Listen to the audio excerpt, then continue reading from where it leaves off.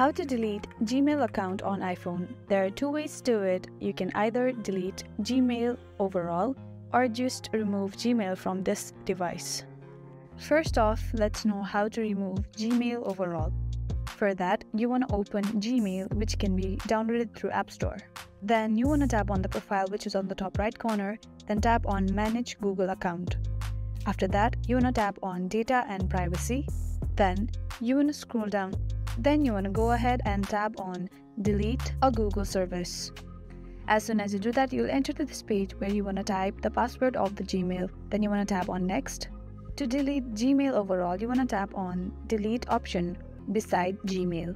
As soon as you do that, you'll enter to this page. Now you want to scroll down here and then you want to click both of the checkboxes and tap on delete account. In this way, your Gmail has been deleted overall. You can also recover it by tapping on recover and then typing your email address. Moving to another thing that is removing Gmail just from your device. For that, you want to open Gmail.